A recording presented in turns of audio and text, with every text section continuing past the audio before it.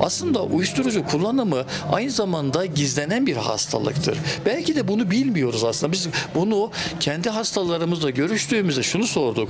Senin ailen senin madde bağımlı olduğunu ne zaman öğrendi? 3 yıl sonra, 5 yıl sonra öğrendi. Peki neden ailende gizledin diye sorduğumuzda şunu diyor hocam. Bir, ailem öğrenmiş olsaydı toplumun içine çıkamazdı. Artı biz aynı şekilde polisiye bir algı vardı. Bir sabıkalanacaktım, bir işe giremeyecektim. Toplum bana bir e, farklı bir gözle bakacaktı.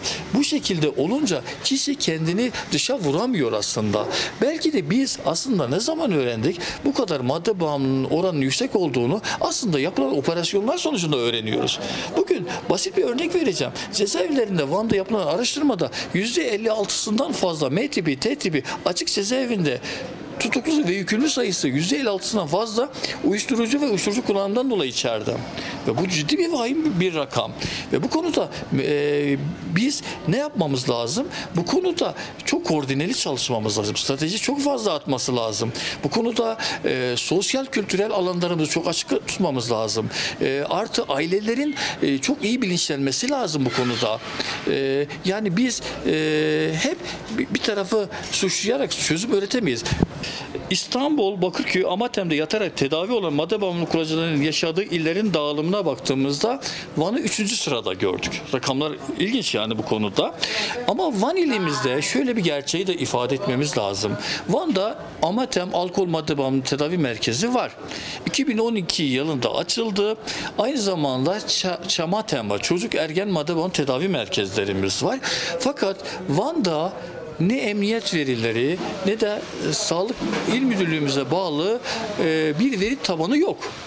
Van'da ne kadar madde bağımlı oranı olduğunu bilmemekteyiz. Fakat biz 7 yıl içerisinde dernek olarak 350 tane hastaya ulaştık. Biz diyoruz ki yani mücadele ettiğimiz şeyi de bilmek zorundayız. Şimdi bir alanda mücadele ediyoruz. Madde bağımlılığından bahsediyoruz. Önleyici faaliyetlerinden bahsediyoruz. Hangi mahalleye öncelik vereceğimizi konusunda da bir veri tabanı olmadan onu yapamayız. Yani bu konuda bir haritamızın olması lazım. Güvenlikçi politikalarla çözüm olmuyor. Güvenlikçi politikalar bazen insanı ters tepki yaratabiliyor. Ama bugün bakıyoruz yeni bir yerel seçim yapıldı. Yerel seçim içerisinde yeni göreve e, gelen e, belediye başkanlarımızın ilk yapması gereken şey şudur. Bağımlılık önemli bir sorundur. Van'ımızda maalesef artık her sokak başında görebilmekteyiz. Bunu da söylerken bağım 350 bağımdan bahsettik. Her bağımlılığımıza söylediğimiz şey şuydu.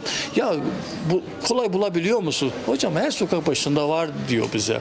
Bu konuda e, bizim belediye başkanları yapması gereken en önemli şeyden bir tanesi buna yönelik bir daire başkanlığı. Daire başkanlığı olmasa bir müdürlük kurulmalı.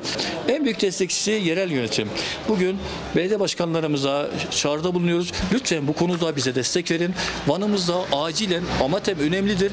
Amatem tedavi dot detoks dediğimiz arınma önemli bir aşama.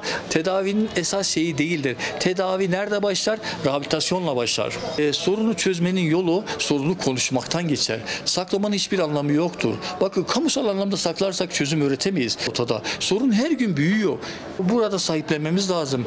Yani yanında bir e, kamu yöneticisi, bir sivil yani sivil toplum kuruluşunu, bir yerel yönetimi gördüğü zaman bırakma ihtimali daha yüksektir. Yani bu konuda mücadele etmeliyiz.